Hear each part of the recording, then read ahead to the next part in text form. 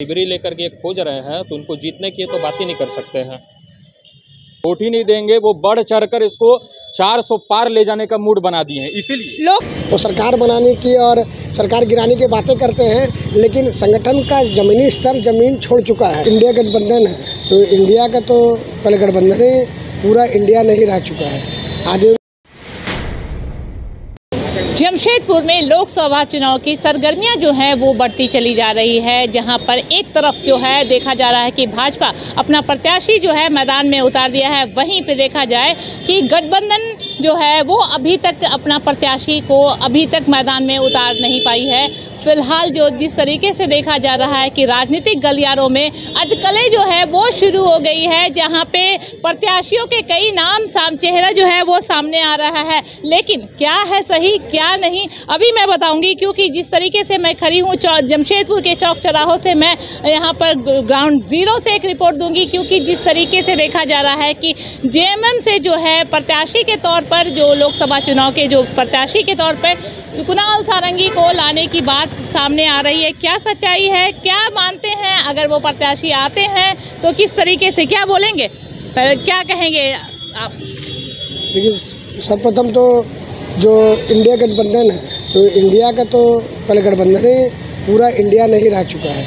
आज उनके घटक दल जो है, वो गठबंधन तोड़ चुके हैं। अब आपको, हमको सबको पता है कि उनके जो सहयोगी दल थे जैसे पश्चिम बंगाल में तृणमूल कांग्रेस है, उन्होंने अपने पार्टी की जो प्रत्याशियों की घोषणा कर दी है, उनके घटक दल जो थे यूपी में, समाजवादी पार्टी, उन्होंने अपने घटक दल की घोषणा कर दी है, अपने जितने भी दल के जितने भी प्रत्याशी उसकी घोषणा कर दी है इनका गठबंधन और जमशेदपुर में भी आज हमारे जो भाजपा के विपक्ष जो सरकार में जो अभी है, वर्तमान में जो दोनों दल हैं, कांग्रेस और जेएमएम और बाकी जितना भी गठबंधन की जो सरकार बनी है, इसके इनका गठबंधन इतना कमज़ोर है कि ये अभी तक तय नहीं कर पा रहे। चुनाव सर पर है, घोषणा हो चुकी है।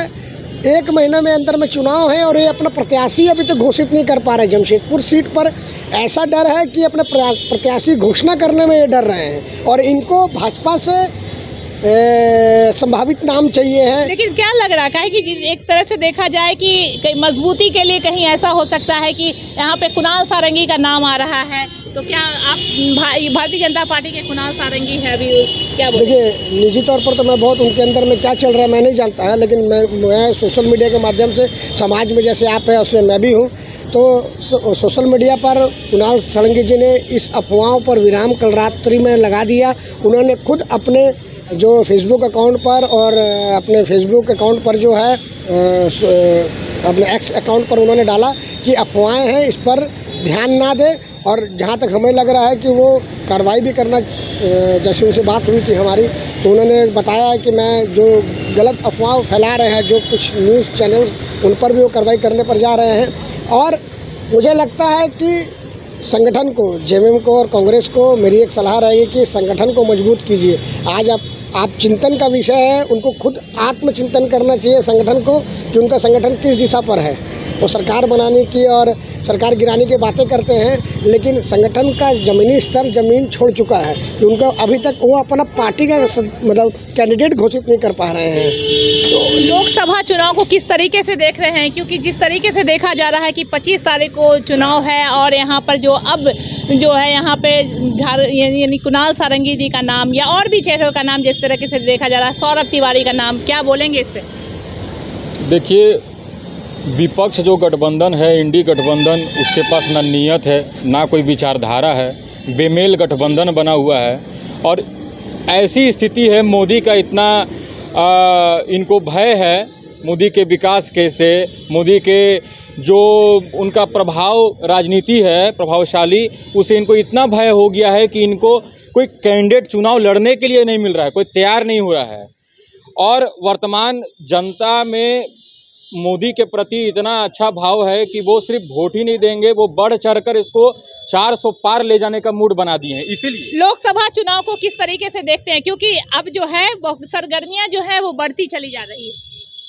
खनखार पे जैसा जो अच्छा हो लोकसभा के लिए चुनाव को वही सोचते हैं हम लोग एक अच्छा उम्मीदवार यहाँ से खड़ा हो अच्छा मतलब उम्मीदवार जो यहाँ पे आए यहाँ प्रत्याशी एक अच्छा प्रत्याशी खड़ा हो जो सेवा करे। किस तरह का प्रत्याशी जो है लोकसभा चुनाव में चाहेंगे?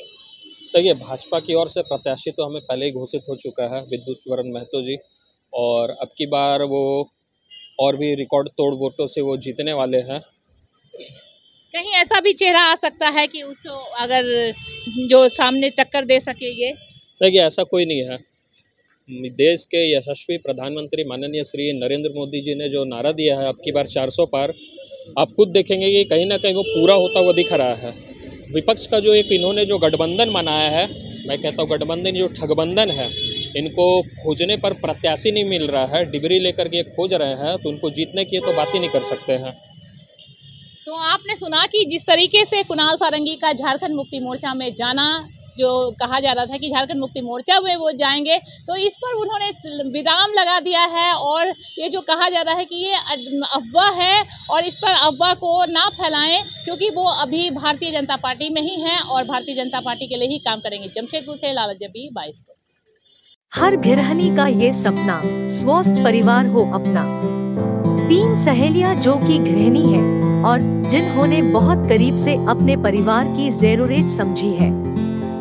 उसी सपने को साकार करने के लिए आप लोगों के बीच भावना कच्ची घानी सरसों का तेल लाई है। शुद्धता ही हमारी पहचान है और हम आपसे वादा करते हैं कि मिलावट की कोई गुंजाइश नहीं होगी। कोहलू द्वारा निर्माणित सरसों के तेल के कई फ़ायदे हैं। जैसे कि खराब कोलेस्ट्रॉल ना हाथ को हेल्दी रखना और इसे शरीर की मालिश के लिए भी उपयोग किया जा सकता है।